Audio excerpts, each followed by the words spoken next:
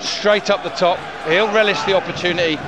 Four goals in the last five games for him. The Aldershot Town Player of the Month for the last month. And uh, oh, shots player's gone down early. It's Corey Jordan.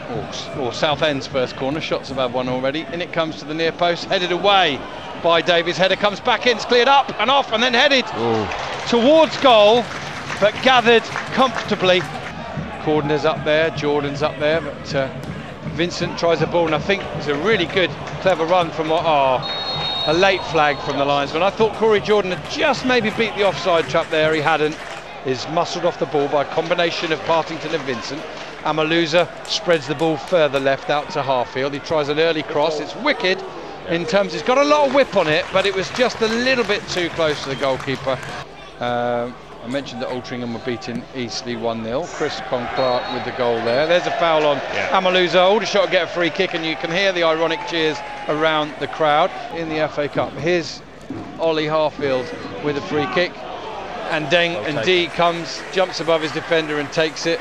He almost uh, takes out Kacper Lopata as well, but Lopata's okay. And uh, Southend keeper uh, throws it out, only as far as Ralph. Looks a much more mature player than his time when he was here with the shots. He's uh, skippered Southend on a few occasions. Aldershot won it back. Amaluzor in the area. Goal! 1 0 to Aldershot. Great pressing. Combination of Willard Glover and Amaluzor.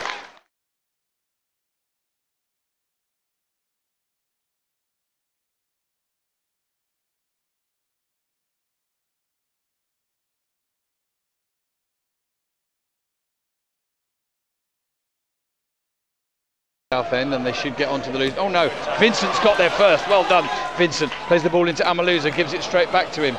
Uh, out to Willard, who, despite playing up the middle, has drifted out on the left side a lot. Is Vincent? Can he get across? No, it's a lovely cross. It's just a little bit too deep. Alpha should keep it in on this right hand side. He'll go one on one against Ralph. He's gone past him. He's into the edge of the area. Tries a shot. Oh, it just stings the hands of Andeng-Ndi. He can only parry it out to Glover.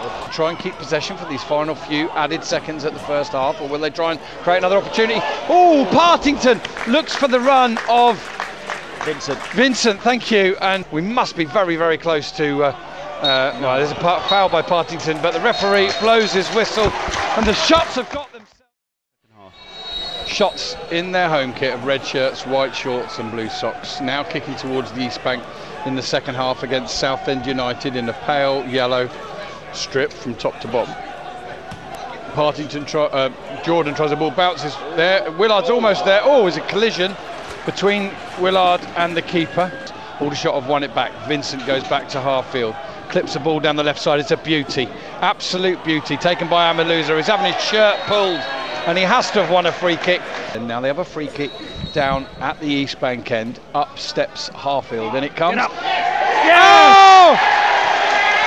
And Corey Jordan meets it at the near post and heads it home.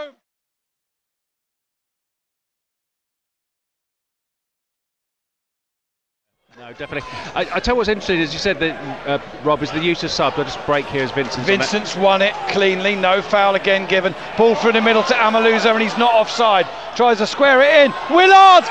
Oh, it's Oh. cleared. It's a brilliant scrambled effort. Willard could do no more. Ball down the left side from Southend. Oh, and that's a Davies, foul. is he fouled? No, he's dispossessed and nothing's given.